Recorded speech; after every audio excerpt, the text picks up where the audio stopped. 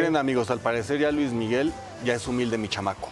Ya es sencillo. Yo ¿Qué creo, hizo? no sé, porque miren, Luis Miguel sigue mostrándose pues ya en público y dicen que más guapo que nunca. Y es que Sí después de haber pasado guapo. Unos días bien, ¿eh? en Nueva York, sí, mira, súper bien. Eh, la revista Hola captó al Sol de México a su regreso a Madrid con Paloma Cuevas y todo parece indicar que la pareja pues estuvo en la Gran Manzana y no solamente para celebrar el 14 de febrero, sino también porque Paloma la comadre, que ya no es comadre, ahora es prometida, tenía que cumplir compromisos laborales en el Fashion Week. Además de los detalles que más llamaron la atención, por eso les digo que anda muy sencillo, es la atención que Luis Miguel parece que él está cargando el neceser, que es una especie de cosmetiquera o maleta pequeña para artículos de higiene.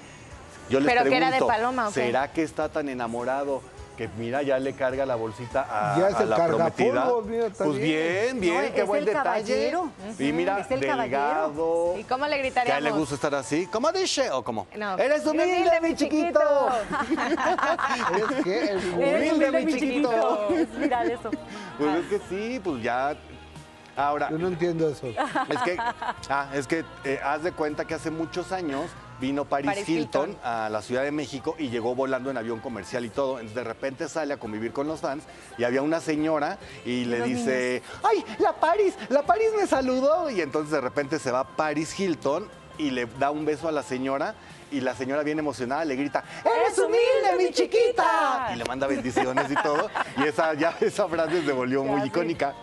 Se volvió meme, se volvió viral, se sigue recordando. Entonces aplica también en este Ajá. caso. Nunca lo había oído. Mira, cuando alguien se te ponga payasón y de repente cambia la actitud, pronto- tú le gritas, eres humilde, mi chiquito, Sí. y ya con eso. Tengo otras frases.